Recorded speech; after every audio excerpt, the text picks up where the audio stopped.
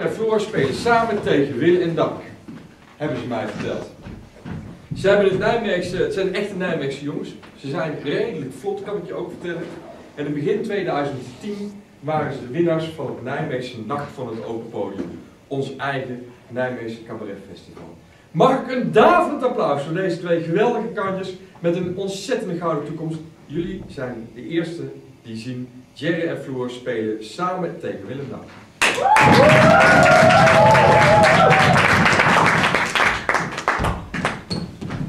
Hoi. Hoi.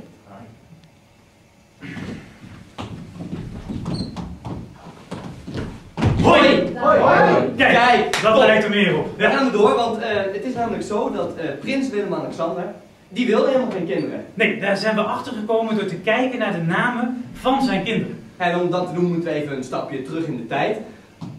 Toen het eerste kind van Willem-Alexander werd geboren, want wie weet nog hoe dit kind heette? Maria. Amalia. Het is niet... Nee. dat kind heette natuurlijk Catharina Amalia Beatrix Carmen Victoria. En als je dat afkort, dan wordt dat C-A-B-C-V. Wat natuurlijk weer staat voor... Condoom altijd blijven controleren. Vooraf. Ja, dat is niet gelukt. En weten we allemaal, want niet heel erg veel later werd het tweede kind van Willem-Alexander geboren. En dit kind heette Alexia Juliana Marcela Laurentien. En als je dat afkort, dan wordt dat L. A-J-M-L. Wat natuurlijk weer staat voor... Alweer jong, mislukt en lelijk. Ja, waarschijnlijk dacht Willem-Alexander op dat moment, oké prima als er nog een derde kind komt. Maar dan eentje die niet zoveel op mij lijkt als de vorige. Dat is ook niet gelukt, want toen werd het derde kind geboren en dit was Ariana Wilhelmina Maxima Ines. En als je dat afkort, dan wordt dat A-W-M-I. Wat natuurlijk weer staat voor... Alweer waterhoofd met identiteitscrisis.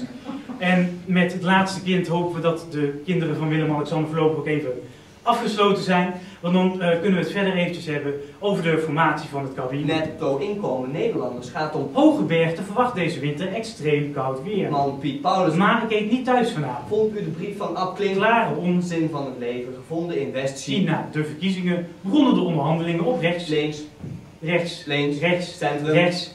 Heeft altijd voorrang in het Verkeerde beslissing tijdens het congres van het CDA. A. Merken zelden beter van kwaliteit. Om over te gaan naar het volgende onderwerp. Een blik op God. Verdomme. Eh, sorry. ehm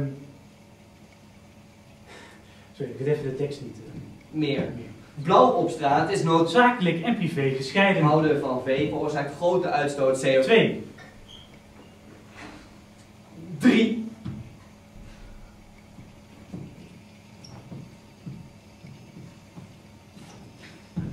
Vier of meer zetels winst voor de P van de A. Merken zelden beter van kwaliteit. om over te gaan naar het volgende onderwerp. Werp. Een blik op God. Verdomme. Dit stuk hebben we al gedaan. Nee, ik hoor u allemaal al denken, eh, gaan jullie ook nog iets over jezelf vertellen? Eh, nou nee, Eh, dat heeft ook een reden. Het is namelijk zo dat alles wat wij meemaken is ofwel ongelooflijk saai, ofwel net iets te gênant om hier te vertellen. En van dat laatste heeft jij nog een leuk voorbeeld. Ja, nu verwachten ze al wat. Dat is leuk.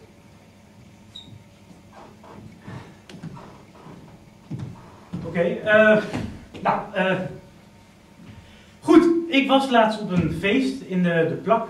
En dat was een feest waar alleen maar lesbische vrouwen mochten komen. En dat heette de Pottegod. Ja, nu hoor ik allemaal denken, goh jij, wat deed jij daar dan? Mocht jij daar überhaupt wel naar binnen?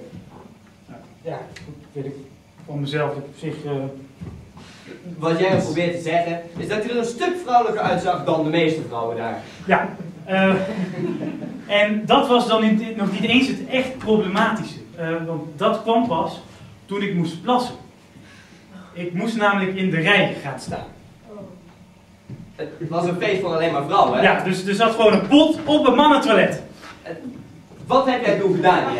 Ik heb toen niks gedaan, ik ben toen weggegaan, want het werd me te veel. nee, nee, het gaat net om wat heb je nog gezegd tegen Ik die heb, vrouw ik heb niks gezegd tegen die vrouw. Nou ja, goed, jij zei dus... Ben jij nou helemaal van de pot gerukt? Ja, zij kon er ook niet zo om lachen. En eh, die vrouw die achter mij stond al helemaal niet. Het was allemaal één pot nat. Ja, nee, eh, ik ben toen dus naar buiten gegaan. Ik heb voor het café heb ik de eerste, de beste boom uitgezocht. Toen nog een paar potkijkers achter me hebben gewoon genegeerd. Dat heb ik mijn plasje tegen die boom aangedaan, want dat kunnen die potten niet. 2003. Eh, gamen, googelen en beurtlopen. 2005. Ehm, dat was bandstemmen, genverbrander en moslim. Goed, 2007. Uh, Bokito proef, coma zuipen. Co coma, Bokito proef, coma zuipen. Even voor de duidelijkheid. Eh, we zijn dus bezig met het uit ons hoofd leren van alle uitslagen van de verkiezingen van het woord van het jaar vanaf 2003. Ja, je moet wat. Maar wij merken ook dat wij elke keer naar komen zuipen last krijgen van geheugenverlies. Ja, weet er iemand bijvoorbeeld nog wat het woord van het jaar van 2008 was? Ik hoorde iets. Nee, nee. Zwaffelen. Zwaffelen! Goed, heel goed! Ervaringsdeskundige. Goed. Weet iemand ook nog welk woord dat jaar op de tweede plaats is geëindigd? Wieën. En het valt ons op dat er heel veel overeenkomsten zijn tussen wieën en zwaffelen. Want je staat allebei met zo'n ding in je hand en ben je een beetje heen en weer loopt. eh, Dus ja, wij denken, eh, gat in de markt. Moeten we iets mee doen? Dus wij hebben contact gezocht met Nintendo. En nu zijn wij samen met Nintendo bezig met de ontwikkeling van een nieuw soort controller en eh, bijbehorende spellen. Die controle kan je met de klittenband om je, nou, half, nou, ja, dat vastmaken. En daar komen dan spellen bij als zijn de eh zwaffel tennis. Ik serveer. Eh, interessant detail is ook dat je de kreten van tennissers meteen een stuk beter gaat begrijpen. Een ander spel, misschien wat meer voor de echte mannen onder ons, wordt eh zwaffel golf.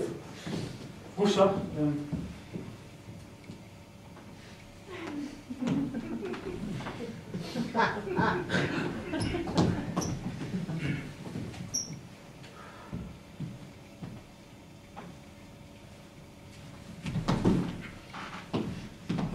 Ik weet zeker dat Tiger Woods hier erg goed in zou zijn.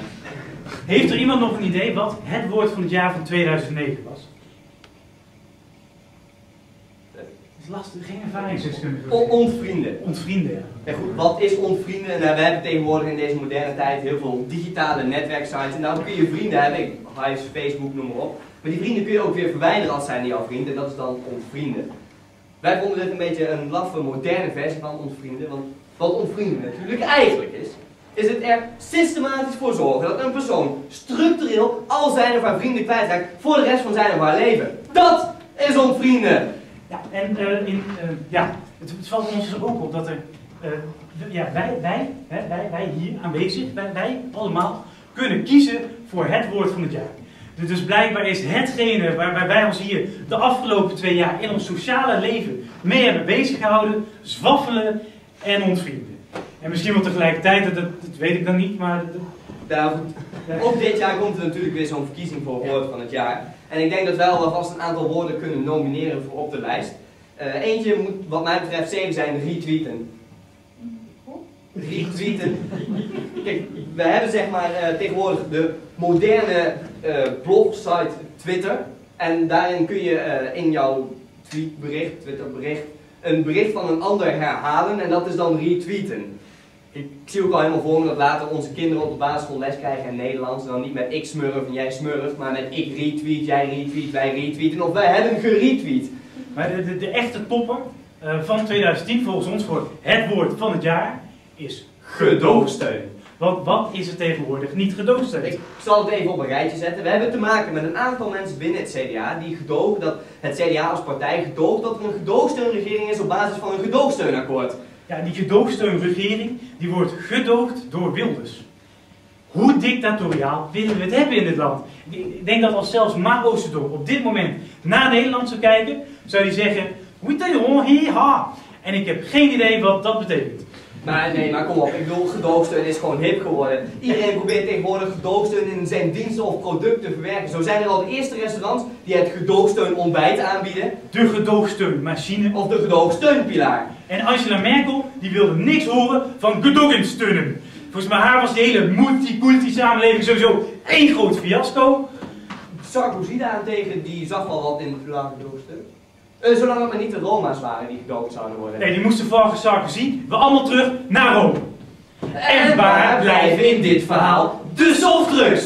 Die zie je nergens meer. Dat is toch van oudsher ons allergrootste gedoogsteun, export, product. En, en tegenwoordig zeggen mensen vaak dat Wilders het grootste exportproduct is van Nederland. Wilders! En ik snap niet waarom we die man dan telkens weer terug importeren. Ja, Kijk, ja, eigenlijk, hè, op dit moment wordt dus in Nederland alles bijna gedoogd, behalve vrouwen in de regering. nee, die wil Mark Rutte niet hebben, want dan wordt hij zenuwachtig van. Kan die niet mee omgaan. Nee, er is maar één vrouw in het leven van Mark Rutte en dat is zijn moeder. Kijk, kijk, eigenlijk worden wij op dit moment ook niet geregeerd door een gedoogsteunregering. Nee, er is maar één iemand die op dit moment in dit land de touwtjes handen heeft. En dat... Is de moeder van Mark Rutte. Kijk, het is heel simpel, want die zegt gewoon: jongen, als jij die wet laat doorgaan, dan krijg jij vanavond geen toetje. eh, Nee, ik bedoel, kom op. Als dit zo doorgaat, dan worden wij binnenkort nog gedoogd door de